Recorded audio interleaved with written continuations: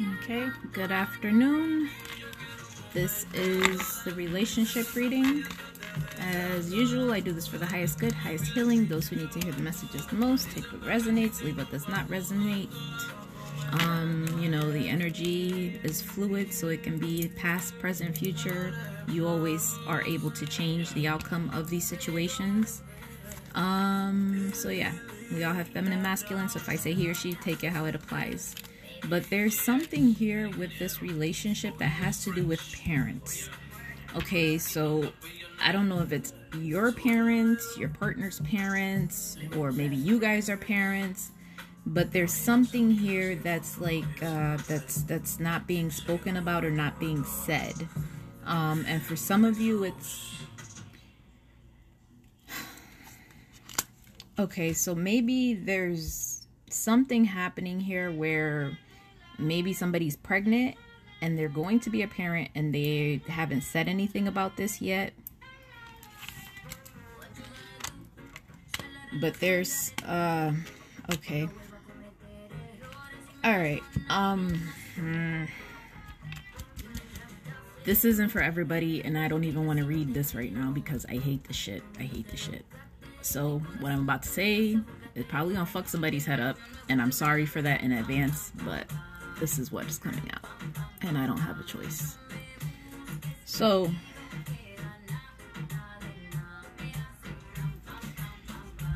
whew, all right. Again, this is not for everybody, and help me, Lord. So, there may be somebody here who is being abused or molested, or there is a child that's being abused okay and it's sexually abused um you know and it maybe it happened before when you were younger and you never spoke about it or maybe it's happening now to somebody. But this is something that is um it's happening and nobody's speaking about it you know and whatever it is it's like this is gonna come out and i'm not sure when it's gonna come to light. They're just saying you know whenever spirit brings it to light. But whatever it is it's this affected this child or this person so much so that it's like um, maybe it caused them to not want to interact with the same sex or to go after the opposite sex. So if they were molested by let's say if it was a male molested by a father figure, maybe it caused them to be attracted to masculine energies. And if it was a female who did it to a male, you know, maybe it just turned them off to that type of energy. Whatever it is, it's like caused this person to go towards the opposite of what they would normally have been um, attracted to, you know, and I don't have words for this because it's it's no. Like don't don't take advantage of kids. Don't do this to kids. Don't just fucking don't they're children they're innocent they don't deserve this you know? You're taking a child's innocence you're taking their livelihood because that's what the fuck you feel like doing or because you have the power to do it and that's not okay. Um like i said that's not for everybody but for whoever that is i have to get out of this because i can't i can't deal i can't deal with this. Um no. So okay so again like i said if this is something current you know please intervene if you know about this call for help I don't give a fuck if they threaten your whole fucking existence, your whole family. Get help because nine out of ten times these people ain't gonna do shit.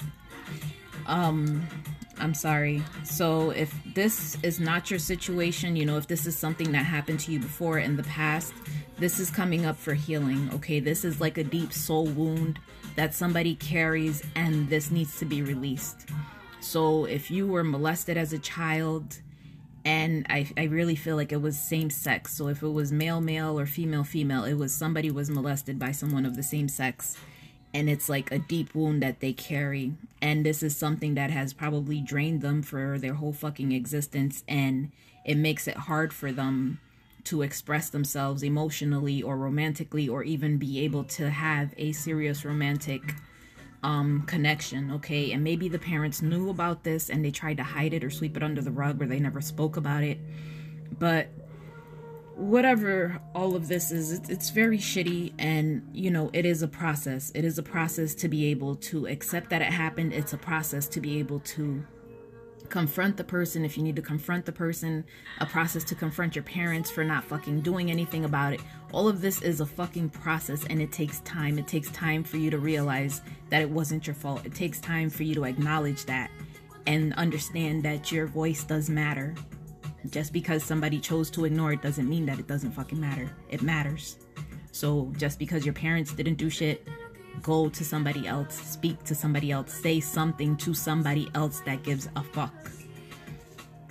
Um, whatever this is, and like I said, if this is something that you've been through already and it's passed from however long, if your parents are still alive, have that fucking conversation because you're it's it's gonna be hard to find peace. Have the conversation, say what the fuck you need to say. Okay, you have to get this off your chest, you have to let this out because like I said, everything is gonna happen. Everything's gonna come about when it's meant to happen. But the this this needs to be released, okay? Because it's like this is sucking the fucking life out of you, and it's stopping you from living your life to the fullest. All right. So, like I said, this is a lot of cleansing that needs to take place in regards to this situation, and for this this this individual is probably a healer. Okay. So whatever it is, it's like you may have gone through this and as shitty as it is it's so that you you'll probably be able to help other people that are in this situation or that have gone through this. All right? So again like i said this is not for everybody but jesus help me. Um whatever that is it's like there was there's always lessons in all the things that we go through and i know it sounds terrible to say that but it's like sometimes that's how. It's like we go through the pain and it helps us to find ourselves. It helps us to understand what happened how it happened and then confront our demons. That's it. It's just confronting our demons. Um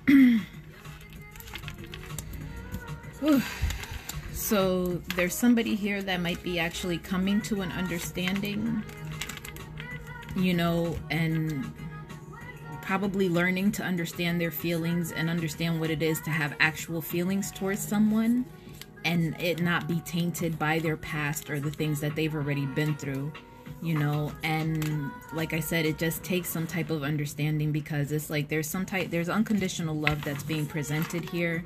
So if someone told you that they loved you or they had feelings for you and it was something that you haven't been able to act upon because of what's happened before like it's been keeping you stuck in this place it's important for you to see you know like gain a different um a different perspective okay so you're probably able to see a different perspective now that you are finding healing or you're coming out of this and finding healing. Hi Aknel, how are you? Um, and for some of the energy that's coming out is a fire sign, so it's Leo, Leo Aries, or Sagittarius. Um, and again, it could be you, could be the other person, however that's resonating for you. But there's some form of regret attached to this situation because it looks like somebody's settled all right, so maybe somebody walked away from the unconditional love or went towards something else that um maybe they just went towards another relationship or settled with another person or whatever because they didn't have to be who they were. It was they were okay with allowing them to wear this mask and be something other than who they truly are okay because here they're showing me that this energy this um, either you or the other person somebody in this relationship feels alone okay? And that's probably the worst kind of feeling alone because you have a whole person a whole fucking partner next to you so there's you shouldn't be alone at any point in time. You shouldn't feel lonely because you have someone. But sometimes when we settle for people that we know are not serving us or we know that don't fulfill us we feel alone because we know our needs are not being met. So our soul is calling. You know, our soul's calling for change. Our soul's calling for us to take action towards what's fulfilling for us, towards our path. And if you ignore that, that's when people tend to go into these deep depressions you know, and they isolate themselves and even become suicidal because you're taking it's like you're going to an extent of you're hurting yourself. That's what you're doing. You're hurting yourself because you're not doing what your soul is calling you to do. All right? You know, and like I said, I've done a, this a lot of this shit I resonate with a lot. So it's one of those things for me where I speak because I know what the fuck this feels like. I know what it is to be so fucking broken that I don't give a fuck about life. I don't even know. I was like, why am I here? Like, that is a deep fucking pain to not want to get out of bed, to not want to take care of your fucking kid. Like, that is a terrible fucking pain. And nobody understands because they don't go through it. So, when you're in bed and you don't want to get up, you don't want to cook, you don't want to fucking function, they're just, oh, you're lazy. And it's like, no, I just don't give a fuck about your life, my life, anybody's fucking life. I don't care. You know, it's a terrible energy. So if your friends, family, whoever it is, has this type of thing going on, check in on them, you know, take them to therapy, even if you have to fucking drive them, take them to see somebody, to talk to someone to get out of this because the last thing you want is somebody to hurt themselves because they feel they didn't have anyone to talk to. Okay. Now, this relationship that this person's settling for or regrets being in, you know, it's like they're on and off about do I leave it, do I not leave it, do I leave it, do I not leave it. And some of you may actually be, yeah, that's okay. So that's what they just, they're just confirming that they're debating on whether they're going to go or not because it looks like somebody might be living a double life. So if it's the person that feels lonely, maybe they're seeing somebody else outside of the relationship to get that fulfillment and that's where the double life is coming from and maybe they're going to see this person or go on vacation or something with this other person you know and this isn't for everyone however the messages come out is just that's how i read them but it's like this person with the, the their partner their main partner doesn't listen to them. It's like this person can talk and talk and talk and express and express and express and say, I don't want this or I don't want to be here or I'm tired of this. What it's like whatever you're expressing, it's like it goes in one ear and out the fucking other ear and all they hear is what they want to hear. And if it doesn't align with what they want, then it's irrelevant. It doesn't fucking matter. It's like just you never had the conversation. Like talking to a fucking wall. It's like that. Okay, so whatever this is, you know, if, um, like I said, if you're. I don't, like, what the fuck do you expect from people? What do you expect? If you're not fulfilling their needs, they're expressing that they're not happy. What do you think? They're just gonna stay in the same fucking situation? They're not gonna go outside of the relationship? Like, I, I, I don't, I don't fucking know. I don't know. Um, so whatever this is, it's like maybe this person like is learning to kind of step outside of themselves is learning to love themselves learning to get out of this energy you know and maybe learning to be a little bit more social and trying not to feel so lonely and not live in this fucking the shell of a fucking human that they're living in right now so, you know, maybe they're starting to communicate more with people, talk to more people on the phone, you know, um, actually, um, what's the word I'm looking for?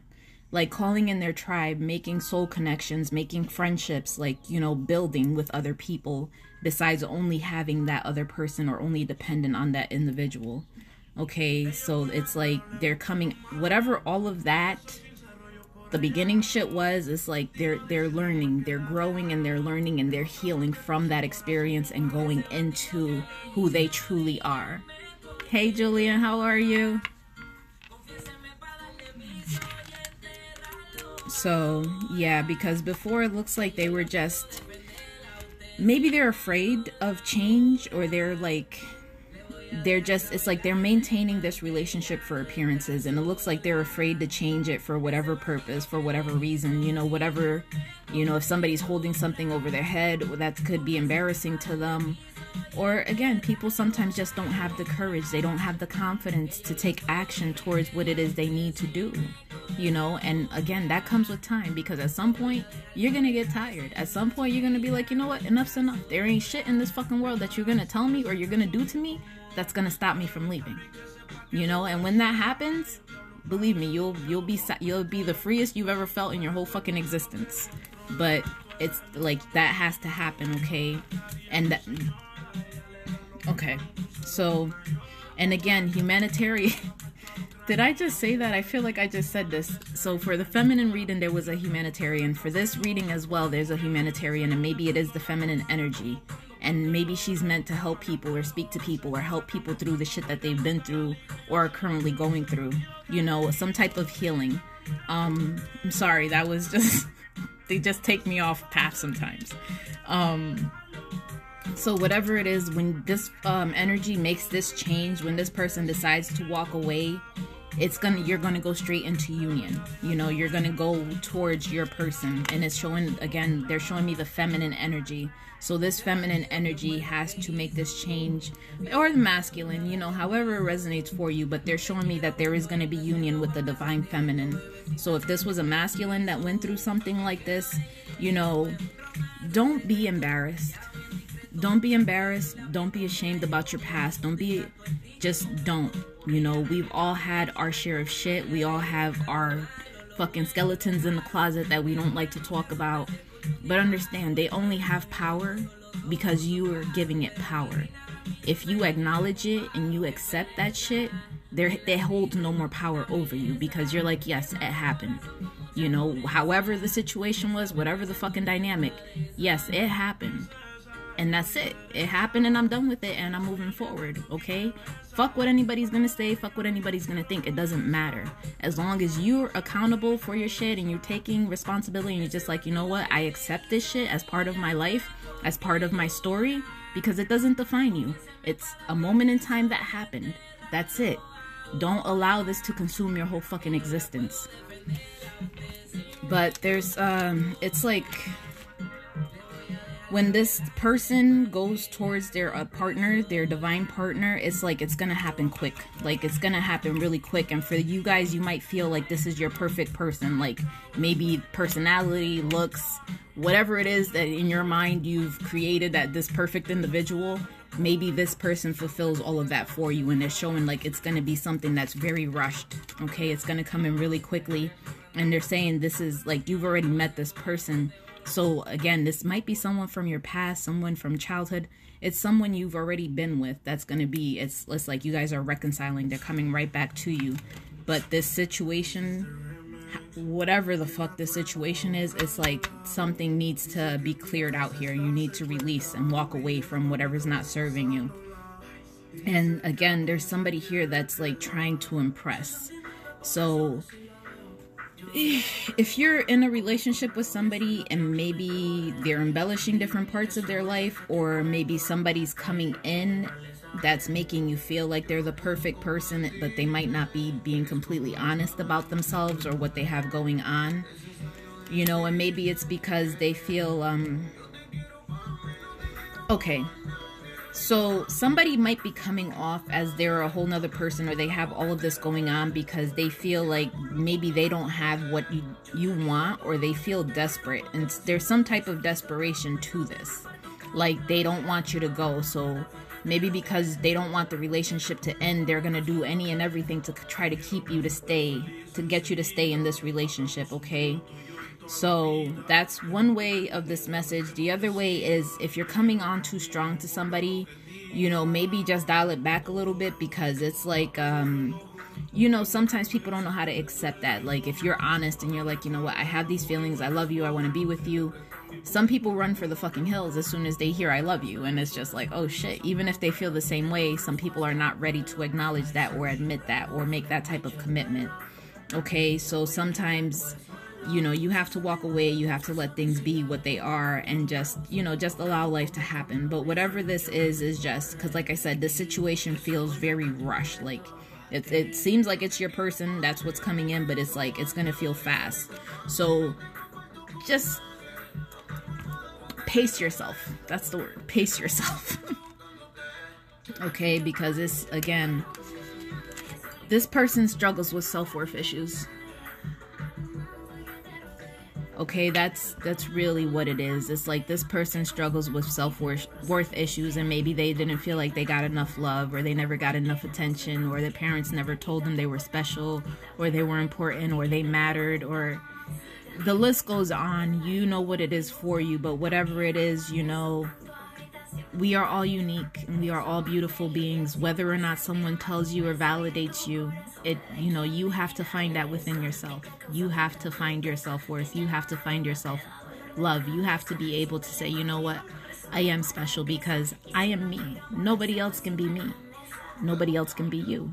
Okay? There is only one you. There is only one me So, in that respect, yes, you are a special person. And what you bring to the table is your character, your heart, your soul, who you are as a person, not the exterior. The exterior ain't shit.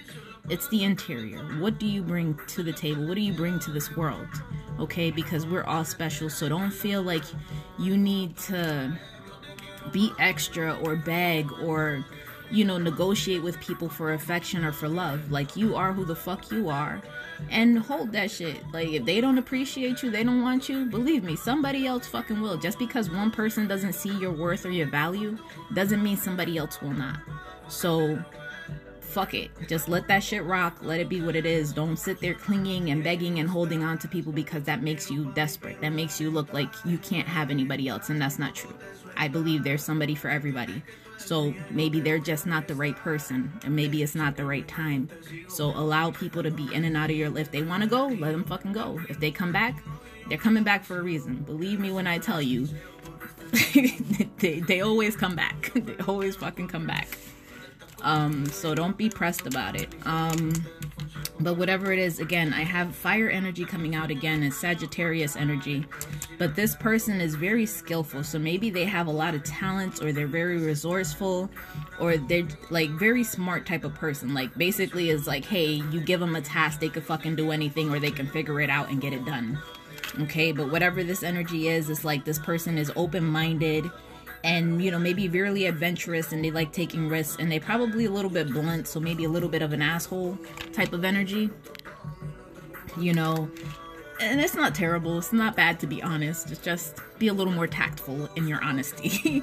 Because whatever it is this person there's a divine contract that needs to be fulfilled. And i feel like this is the uh the outside person the person outside of the relationship because maybe the person you're with is treats you shitty or the other person is like they're trying to hold on to you very desperately. Okay, but whatever it is, is you're being watched. So maybe somebody has a fake social media or they have some shit on your phone or a fucking GPS tracker or God knows what because technology is fucking ridiculous. But there's somebody that is watching you. Okay, so they're keeping an eye on you. Maybe if you're on social media, they just watch what you post. But whatever it is, just be fully aware of this but they're asking you to stand in your power okay? Find the strength to move forward. Excuse me. Because there there's um you have to refocus all right? Whatever energy you've been in whatever it was you were giving your energy to or whatever you were allowing to consume you from the past because it seemed I don't want to go back to that energy so I'd rather not but whatever it was that happened before that you're holding on to it's it's important to let this go okay? Because that's it's only going to hinder your path and your growth. And there's some type of stubbornness. So if you've been um if you've been dead set on something or anti something or like everything needs to go in a certain way you know shift your focus a little bit shift your perspective because that's the only way you're going to be able to find another outcome. It's the only way you're going to be like okay you know what it's not working this way, so maybe if I adjust here, it'll work out better that way. Okay, so that's all it is. Is sometimes you make little tweaks, little adjustments, and things have a better way of working out. But if you stay stuck in the no, it has to happen this way, or it has to happen with this person at this time, like you're setting yourself up for failure. It's hard for things to happen the way that you want them to happen because we only control ourselves. We do not control other people or how everything else functions. There is a fucking plan, apparently, at work here. There is a whole plan for this contract, this relationship to be fulfilled. So it's not about you and how you want it. It's about when Spirit says it's time and when it's going to happen because divine timing came out. So when Spirit says it's ready and that's when it's going to happen that's what it is. So release whatever control you're trying to have, release whatever stubbornness, whatever it is that you're holding on to. You know, if you're holding on to grudges or things from the past. Why? Why? It happened one at one moment, literally one moment. So why hold on to these moments and make it last for months, years? It's not worth it. It's not worth the energy. Allow the past to be the past. You don't have to interact with these people. You don't have to keep having relationships or anything but don't hold on to it either. Don't maintain that. Okay, and again, fire energy is coming out. We have Aries now. So it's important for you to focus your mind, okay? Because it's like whatever priorities you have going on, maybe you're all over the place you know maybe you're like trying to um like i said that energy that was really skillful like they're really like they are they're smart they can do a lot of shit if you have that energy and you're that person that's like i'm here i'm there i'm fucking everywhere type of energy focus. Pick something that is like this is important this is my priority and focus on that okay? Because whatever it is like i said it's like they're calling for some type of adapting to a situation. So the stubbornness. Let go of the stubbornness okay? I don't know how else to say this. But if you'll know if you're dead set on something and you're like it has to happen like the way i'm fucking saying it's gonna happen. Hi Lori.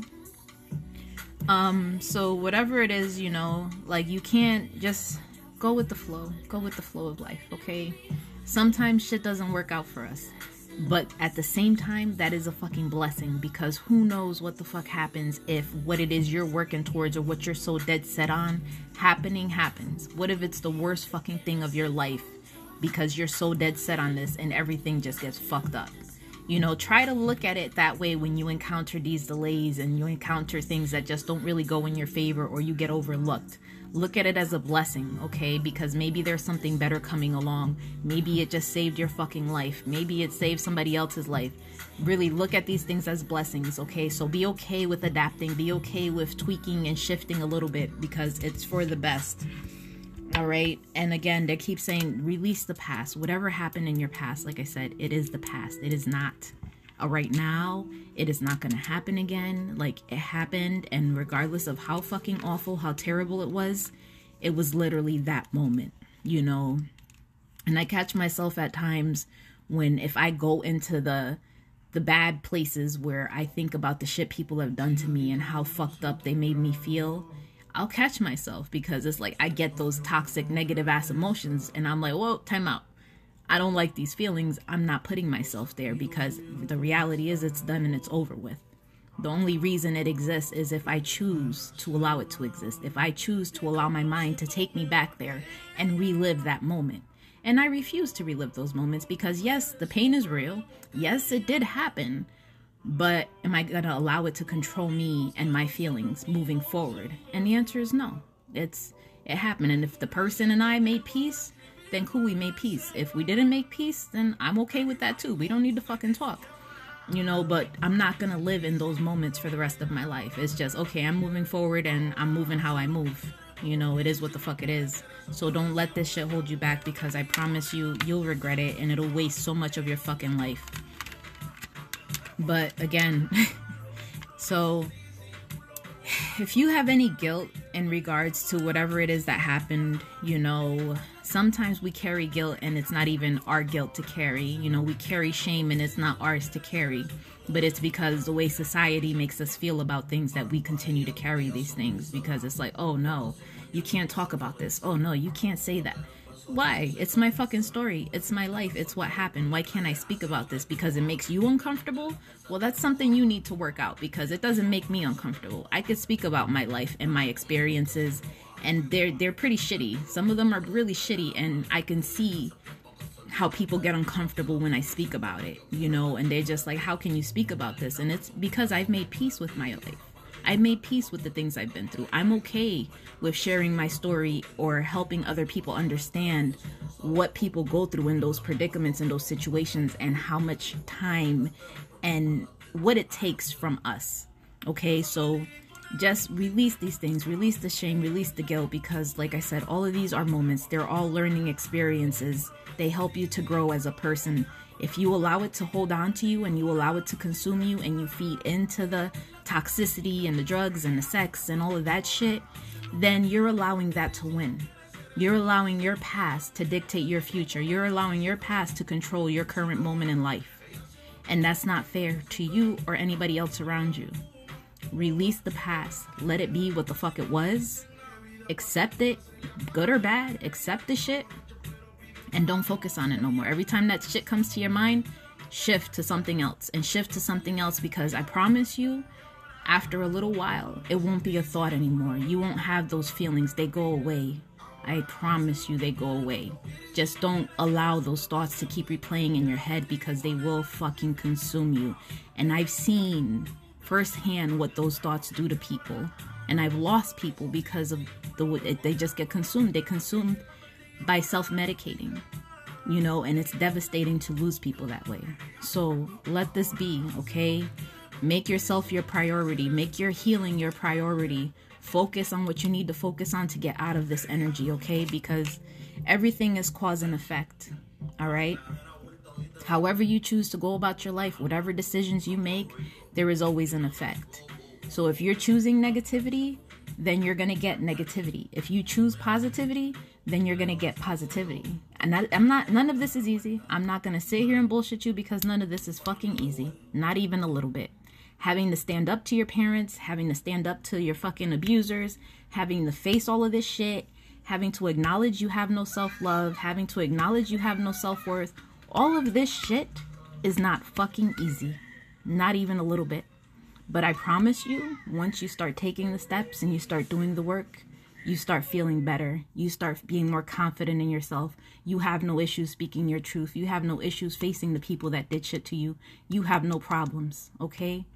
It, it's a process, it is a whole process. But I believe me when I tell you, if I can get through the shit I fucking been through, you can get through the shit you fucking been through. I believe me. I promise you wholeheartedly, you can do this shit.